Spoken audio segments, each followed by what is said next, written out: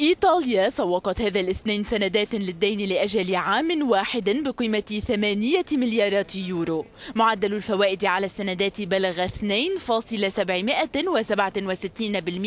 ما يشكل أعلى معدل منذ شهر حزيران يونيو الماضي. وذلك في ظل ترقب المستثمرين لتحرك البنك المركزي الأوروبي لمعالجة أزمة الديون في منطقة اليورو.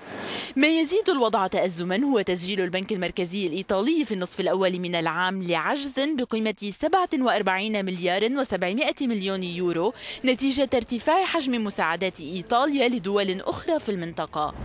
روما تهدف هذا العام إلى تخفيض العجز من 3.9% إلى 1.7% من الناتج القومي المحلي. لكن وزير الاقتصاد أكد الأحد الماضي استحالة التوصل إلى ذلك ما يزيد احتمال حاجة إيطاليا إلى خطة إنقاذ أوروبية.